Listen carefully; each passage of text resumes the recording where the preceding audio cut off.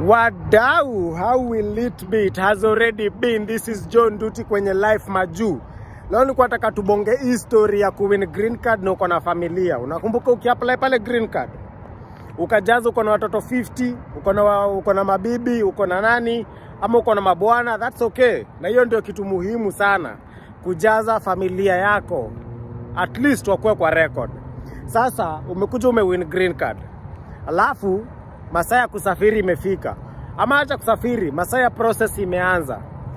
First and foremost, naweza kuadvise kama umewin green card ama, ama um, anyone mwenye ulikuwa umeapply amewin green card na mlikuwa mkuja pamoja, naweza sema wacha watu wabaki kwanza, bora wako kwa system, bora wako approved, wamepata visa, wabaki kwanza Kenya, alafu wewe ukuje majuu. Juu nini? Hii mtaa kama wewe ukiwa tu solo ni ngori na ni stress. Wewe ukiwa tu peke yako ni stress ingine ya kimataifa. Kwanza life place mpya, kuweka foundation, kupiga mboka, hizo vitu zote zinataka do na ni expense. So uko na familia inakuwa ni hard on you. Let's even start to the basics.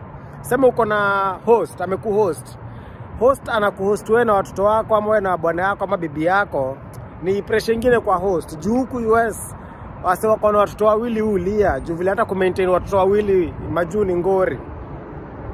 So wewe umekuja na familia mzima na hata una mboka, hata una job, hauna savings, hauna kitu, unakuja na nini, familia mzima unakaa kutegemea mtu, kwanza host.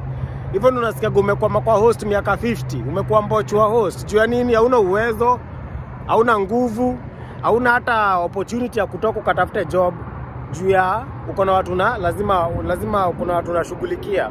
So wewe ukiwin green card, wacha familia kwanza nyumbani, wacha kwa hakuna mahali wanaenda. The most important uh, thing is make sure wako kwa system, make sure wamepata wamepata visa. I'm not sure if you can yeah, make sure hiyo wame- wameenda through the process kabisa. Kitu cha kumebaki ni kutravel nao, but make sure everything else yao ina check out. Alafu hizo zote zikuja ziingiane saa vizuri, we safiri kivyako majuu, ukuje ujipigie hustle mwaka moja mwaka mbili, alafu urudie familia. Juu ya nini?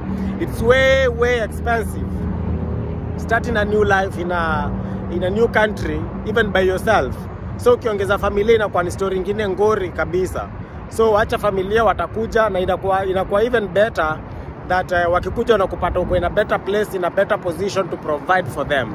Yono nilikuwa nataka tu nikuchapie and all the best kama umewin green card karibu sana. Lakini kama uko na familia usifeel guilty waache utawaendea baadaye ukijiweza